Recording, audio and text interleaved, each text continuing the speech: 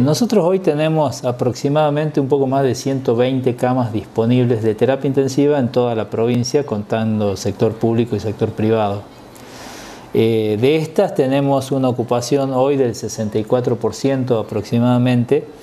eh, y eh, contando solamente el sector público es un 76% y solamente el sector privado un 55%.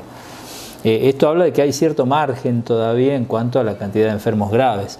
El dato que es muy llamativo es que solamente un 24% aproximadamente de estos enfermos graves que están en terapia intensiva hoy son los que tienen vacunas, que tienen un esquema de vacunas de dos dosis por lo menos lo cual habla de que realmente, eh, la por un lado, que la efectividad de la vacuna este, es, real, y por otro lado, en cuanto eh, a, la cantidad, que es baja todavía la cantidad de personas que requieren terapia en esta nueva eh, ola que, estamos padeciendo, con respecto a la gran cantidad de enfermos. Así que efectivamente es un efecto de la vacuna más allá de la discusión de que si el virus es, más agresivo o no. Evidentemente las vacunas y, el porcentaje de vacunación que tenemos está haciendo efectos en esto de, la afectación, sobre todo de pacientes graves. Las vacunas son efectivas, son eficaces. Eh, necesitamos que